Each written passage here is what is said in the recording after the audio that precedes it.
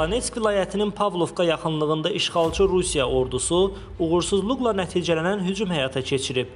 Ukrayna silahlı qüvvələri işğalçıların 2 T-80 tankını, 4 yanacaq daşıyan maşınını məhv edib və salamat qalan 2 BMP-3 isə döyüş meydanından qaçıb.